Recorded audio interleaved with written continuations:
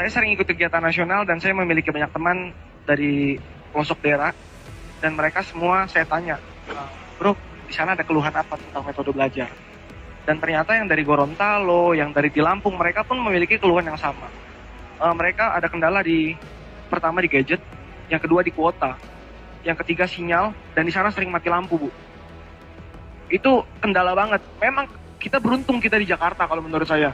Saya harap kita jangan beranggapan bahwa kita dalam keadaan baik-baik saja hanya dalam uh, hanya dalam pandangan perspektif kita sendiri aja. Tapi coba dilihat di sisi lain. Masih banyak di Indonesia ini yang bermasalah kalau menurut saya.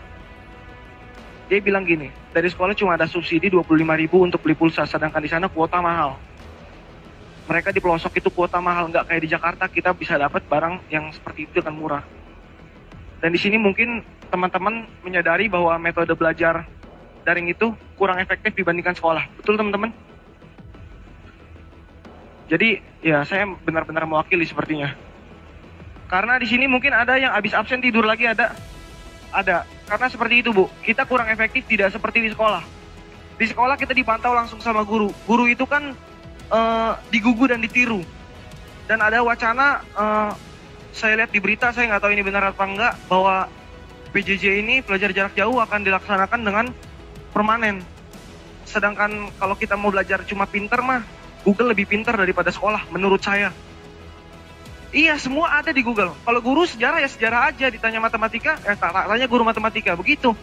Tapi kalau misalnya Google tahu semua dia. Itu menurut saya.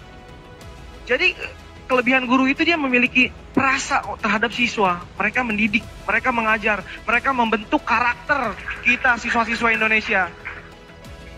Saya harap teman teman-teman semua kita kita yang akan memegang uh, 23 tahun 20 30 tahun ke depan kita yang memegang estafet negeri ini kita bisa memimpin dengan baik dengan metode belajar negara Indonesia yang menjadi lebih baik. Terima kasih.